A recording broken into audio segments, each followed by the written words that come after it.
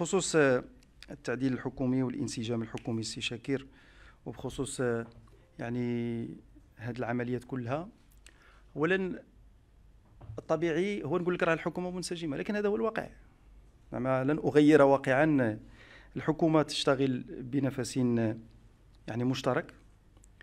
والدليل هو أنها اليوم الاجتماع ديال اليوم آه، قامت بإخراج مجموعة من المراسم اللي ارتبطت بواحد الحدث اللي هو كبير جدا المرتبط بالحوار الاجتماعي الذي جمع هذه الحكومة مع مختلف النقابات.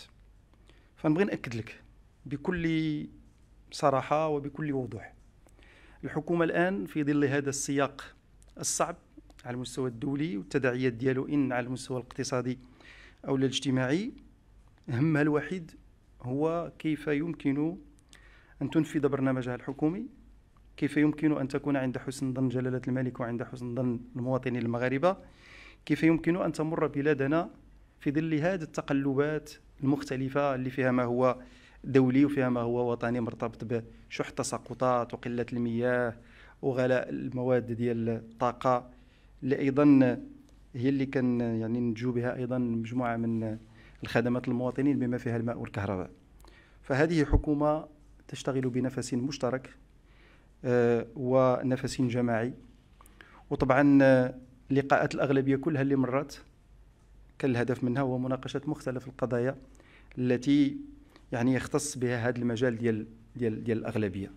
فمن ناحية الانسجام أطمئنك الأمور يعني تسير في في المسار الجيد. الآن بخصوص التعديل الحكومي.